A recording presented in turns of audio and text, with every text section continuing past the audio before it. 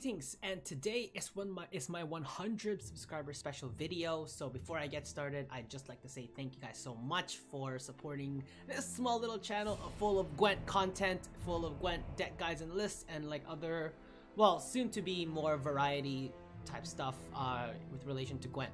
Um, so I had a couple of ideas. Well, I had a lot of ideas actually of um, what to do for the 100 subscriber special. But uh, honestly, like when I really thought about it, it's only, uh, I don't want to say it's only 100 subscribers, like it's actually a big deal to me because I never honestly thought I'd reach this point so soon. Uh, I didn't expect to be, you know, getting it for at least a year. But uh, I'm glad that you guys are coming in, you guys are finding my content. Um, yeah, so thank you so much. And uh, I just thought I'd just do a little bit of an introduction video, sort of give you guys an idea of who I am, uh, sort of what my interests are, at least in terms of this game, the future of this channel, um, and stuff like that. So, who am I? Um, my name is Enzo. Uh, that's not my real name, but that's the name that I'm gonna go with for the channel. My name is Enzo, and um, I've been playing RPG games for as long as I can remember. Uh, I'm Canadian, but I am not from here. I was born in the Philippines. I moved here when about 15 years ago now. Wow, it's been a very long time. That's crazy. Uh, yeah, so I moved here about 15 years ago, and um, I got my first console here, which was a PlayStation 2. I've been playing a lot of like Final Fantasy. Uh, my very first game actually was Final Fantasy X. I was a big fan of Final Fantasy X. It was a very good game. Uh, I have it on remaster, of course. I am trying to beat all of the sort of super bosses and secret bosses and stuff like that, but that's a that's just my interest on the side. Um, I got into Skyrim, which was the next big RPG game that I uh, notoriously liked, and then The Witcher came out. This sort of, you know, already says the leeway as to how I got into Gwent. Uh, I was playing a lot of Yu-Gi-Oh as well, so I was a big. I started big into Yu-Gi-Oh. I've never played Magic the Gathering, um, but Yu-Gi-Oh! I was a big fan of card games. Um, when uh, Witcher 3 came out and Gwent, I already knew I was gonna get hooked into it because I knew it was a card game, and uh, I always find it fun collecting all the cards and just being able to win with them. Um, so when um, Oh, and uh, in terms of schooling, because I'm, it's sort of going to connect, uh, I studied two years of biomedical engineering in university. I have a diploma on it. I do have a full-time job, so this isn't my full-time thing. Otherwise, I'd be posting every day. Uh, well, I still could, but, you know, I have other uh, projects that I like to work on as well. So, in university, uh, during class actually, and this is how I heard about Gwent, uh, this is standalone, because I've always wanted this game to come out on standalone. Uh, one of my friends actually got into the closed beta for standalone. I never knew about this because I didn't really do enough like digging. Um, if I did, I would have known it as well. But he got into uh, standalone because I'm like, I saw that this looks like Gwent, but it looks nothing like the Gwent The Witcher. So I saw him play, and uh, I I went for closed beta right after he I saw him play that one time.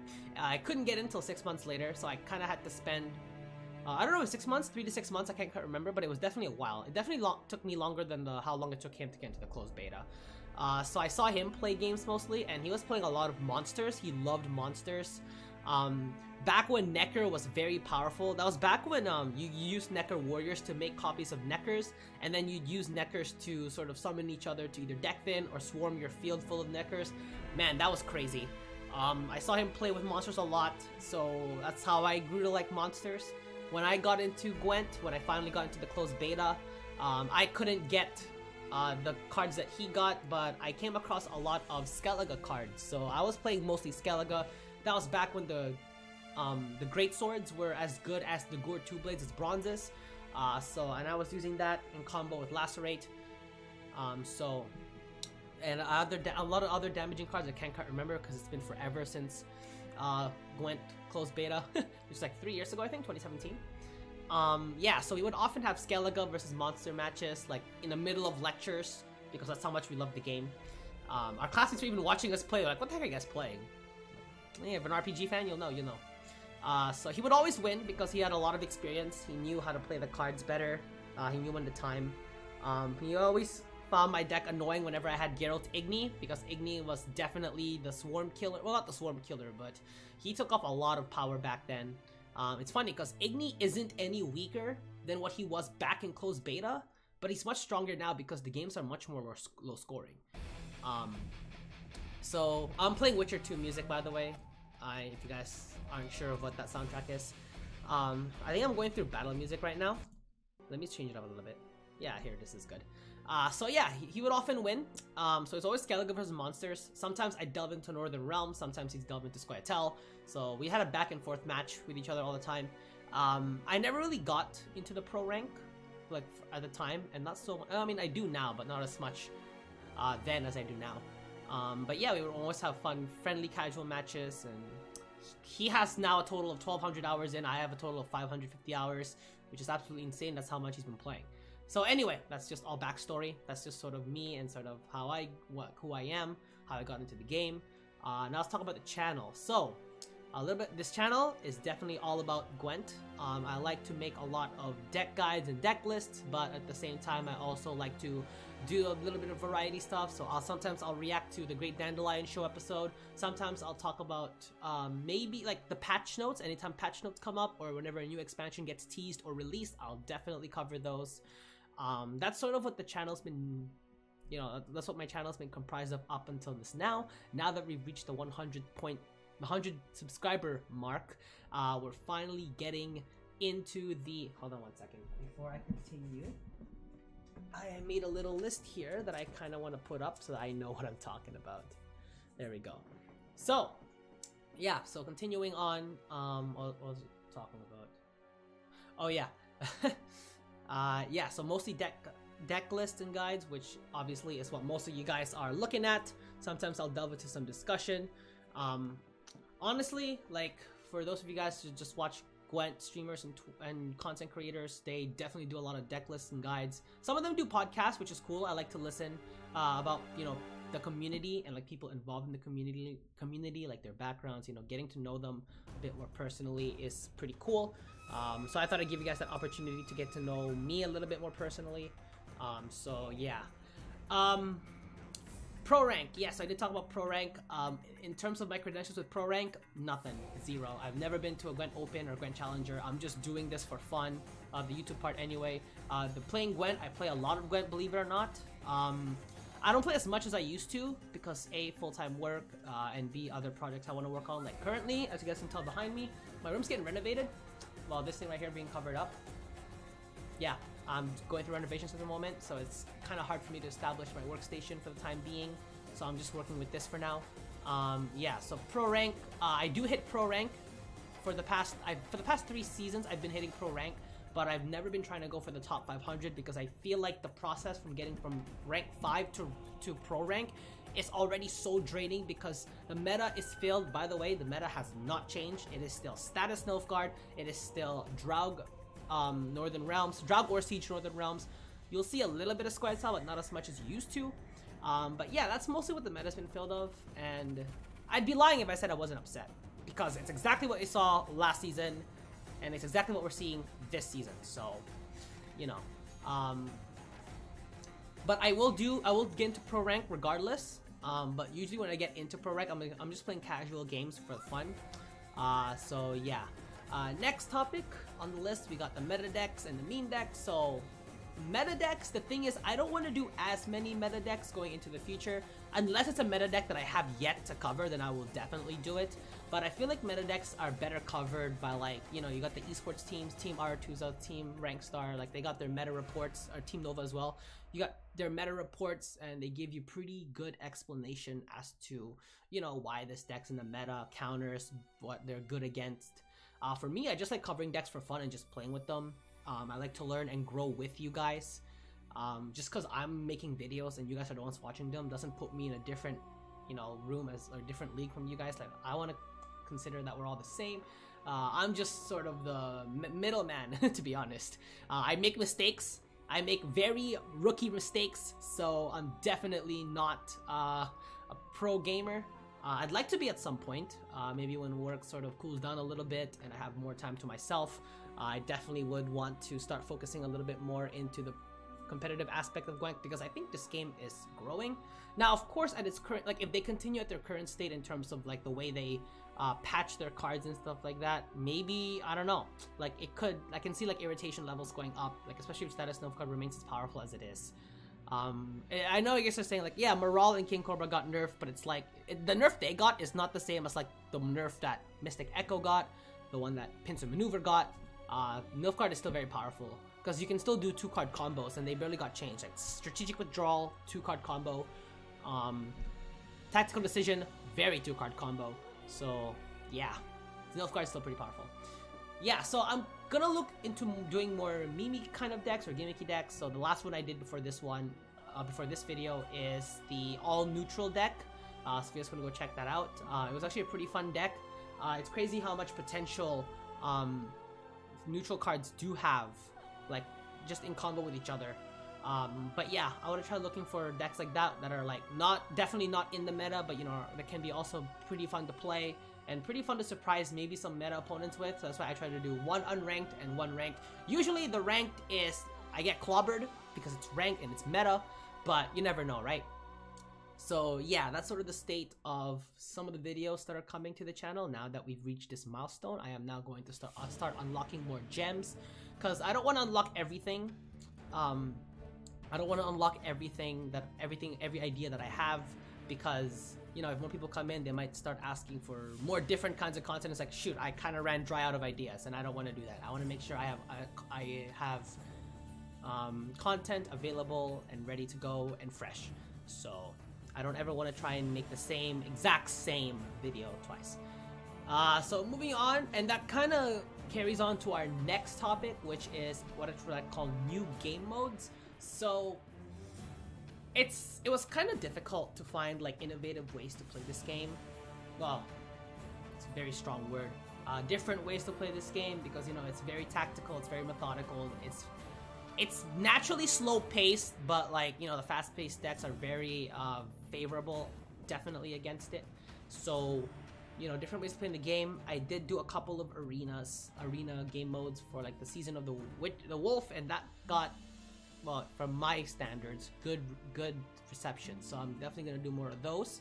Um, I did I've done a couple of what I what I like to call deck building videos. So the way deck building videos work is, um, I have a wheel. I made a wheel of all the factions in it, and the wheel kind of decides what faction I'm gonna play with, and three factions faction cards that have to be involved in the deck. Whether they're the core of the deck or whether they're support, doesn't matter. They have to be in the deck somewhere.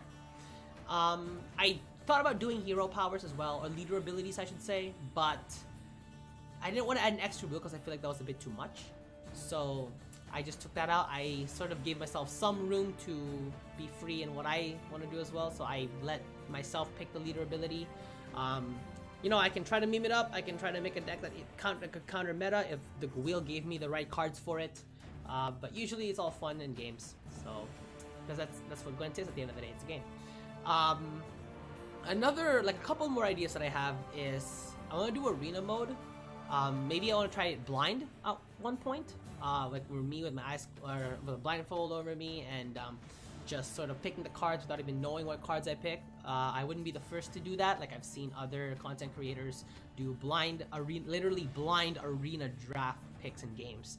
Uh, so maybe I'll give that a shot. Uh, another one is when I play like a regular game um, like a ranked game, maybe I'll let a wheel decide which card I play, or you know whether I forfeit, or, or whether I pass, or whether I play leader ability. Uh, so yeah, um, yeah, that'll be pretty interesting, very interesting indeed. So you know, if you guys are looking forward to that, definitely let me know, and let me know if you guys have any feedback um, on any of the ideas I have, whether you guys like it, don't like it, maybe you think would be good, maybe not.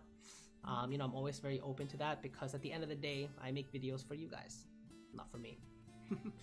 um, but I do enjoy making them, so I guess it is also for me. Um, moving on, this is sort of a subsection of the new videos coming in. Is I have you guys have noticed that in my titles, um, I've always had Gwent in brackets, and I really want to stop doing that. Well, I'm not gonna stop doing it, but I'm gonna make it a bit more unique because I feel like whenever I put Gwent, it's like you guys already know it's Gwent, so it's like it's kind of redundant. So I kind of want to categorize my videos where it's like, if it's a Gwent deck guide, I might put in brackets Gwent decks. Um, if it's a reaction, I could do Gwent reacts. Um, if it's like a chat, whether we're discussing a new update or, you know, like something about anything about the game at all, anything that requires us to talk, it'll be in Gwent chat. Um, could do a podcast, but the thing is, I need other people. And in terms of collaborating with other YouTubers, I don't really have other plans. No one's asking me this, by the way. This is just stuff that I'm thinking of as I go on. Um, I don't really have any plans in the near future to do any some sort of collaboration, just because I feel like I want to improve myself as a content creator, as a speaker, because I'm pretty antisocial, as you guys can tell. It's like why I'm behind a computer. Um, but yeah, so I want to get better at that before I start thinking about doing anything in like communities and stuff. But you know, I do get involved with communities. I do watch streamers play. Um, I watch their guides on decks as well because I know there are a lot of people out there that are much better at me at doing this stuff. Um, but you know, doesn't stop me from wanting to try myself. So I thought, why not, right? Uh, so speaking of community, um, oh, and to move and to go further is I have I'm gonna start to do something what's called five card lists. So you guys saw a couple of those already. Uh, the most recent one I did was five cards that should be changed in this current meta. Um, three of the five got changed, I believe. Moral got changed. Um, Gaunter got changed, not by much, but they did get changed, even though they were just provision changes. But you know, and the third one, oh, I can't remember. Third one I can't remember it. Oh, Redea, Redea, yes. So they got changed. They definitely got nerfed. Gaunter got boosted, but you know no one still really plays him. Um, but I love Gaunter. He's my favorite Witcher 3 character. Uh, my favorite card is Geralt Igni for nostalgic reasons because I talked to you guys about how I would use it against my friends' monster decks. Uh, it was a lot of fun. So yeah. Um, and to sort of answer the question, I guess, the card gamer, because I know people tend to ask this too. My favorite faction is Skellige. Again, for nostalgic reasons, I just love Skellige. Uh, I kind of wish they got more boost. Like they did get, they got a lot of love in this meta, but very subtle love. Not like the rework good love, like you know, as I hope they would. But that's all right. Uh, so yeah, so I'm gonna start doing five card lists. Like let's say five cards for beginners, maybe for them to craft. Now that that kind of list is kind of hard because meta changes. So if I told you to craft this, that, and this, uh, this, there, or that, then they might change at the end of the month. So it's like, what was the point, right? So I don't know if I want to do it in the beginning, but I don't know. I probably not. I, that might be a bit too redundant. It's more content to the channel for sure, but I don't want it to get redundant. So speaking of communities, I will move on to communities and social media. Um, I am notoriously bad at using social media. Uh, I want to improve on that, so I definitely encourage you guys to go follow my Twitter. I want to upload more, you know, more of myself, like post stuff about whatever, about life, um, about you know, funny, good, bad highlights, lowlights, moments in Gwent. Maybe post a screenshot of it every now and then onto Twitter so you guys can go check it out. And you know, like let me know what your guys' best moments are or bad moments are. You know, it'll be a lot of fun to sort of just get to know you guys, you know, just outside of playing the game. Um, it'd be pretty cool. So you guys go follow me on Twitter, Instagram as well. Instagram is more of like my personal stuff. Like you know, whenever I go out on a trip, I go on hikes or whatever. Vlogs. Well, I don't know about vlogs. Maybe not yet. But uh, yeah. So you guys should follow me on uh, Instagram and Twitter. Those two will be the main that I will use. I will improve on it. I swear I won't be just using Twitter as a way to post videos anymore because that's just gonna get too annoying. Um, and I trust that you guys have already subscribed. For those of you who watch this video, probably those who have already been subscribed. Because if you're just new here and you're just watching this, why are you watching this? You should be watching my Gwent deck videos, you know? Uh, so yeah. So I do want to improve on that. In terms of a community, like I have nothing in terms of like what I want to call you guys. Like, you know, I don't you guys the knights or something. Nah, I wanna, maybe I'll think of something down the line, but for now, no plans of that. Um, next is streaming. So, streaming is something that I found very tiring when I tried to do it. Um, and that was my mistake because I tried to do three times a week starting out, and that was a bad idea. So, from here on out, I'm gonna start streaming once a week on Sunday mornings. Um, so, catch me on Sunday morning uh, with this Sunday um, with the stream. If you guys miss it, it's all right. I do highlights on YouTube. Like I'll be posting like sort of my best match or best two matches on YouTube. Um, I'll probably do the deck list for that one as well, but it depends because sometimes I switch between different decks. So maybe I'll do two different deck guide videos. One, and both will have highlights from the stream if you guys did miss it, so you guys can go check that out. But I encourage you guys definitely to go follow me on Twitch so you guys will know when I'm live, which again will be Sunday mornings, and you guys can talk to me and we can talk about anything that's going. Honestly, like I just love talking to you guys. I just don't like being out with people because I'm very introverted. I just and it's funny because introverted is very it's a it's a misconception sometimes because people think that if you're introverted you're antisocial like you can't talk to people no I'm introverted because what it means is you lose energy when you're with around people. An extrovert is very energetic when they're a lot of when they're around a lot of people. I my energy gets drained when I'm around a lot of people. I love to talk, but being around a lot of people, I will just pass out in exhaustion. People will think I'm drinking. That's how bad it is for me. So doing something like this also helps me with being able to talk to you guys, uh, respond to you guys' feedback, and stuff like that. So that's sort of all the topics that I want to cover uh, for this milestone video. Um, if we reach 500 subs, which I hope we will, uh, we'll do have another milestone video there. I'll probably do something a little bit different. Um, well, I'll definitely do something different. I'm not gonna do the same one because you guys will already, will already know who I am by this point. Um, but yeah, so the 500 sub mark, we'll do a different kind of video. And uh, yeah, uh, hopefully you guys continue to support this channel and you know through liking it, disliking it if you guys don't like it, uh, comments because it does tell me a lot. Good and positive feedback tells me so much about the stuff I post. Uh, I can take it very well. Don't worry. Like y'all can yell at me for how bad I am at the game. Go right ahead. I can take it. Hit me with your best shot. Um, that's not gonna stop me. Um, yeah. So that's about everything I have to say for this milestone video. Once again, I'd just like to thank you guys so much for helping this channel get that far.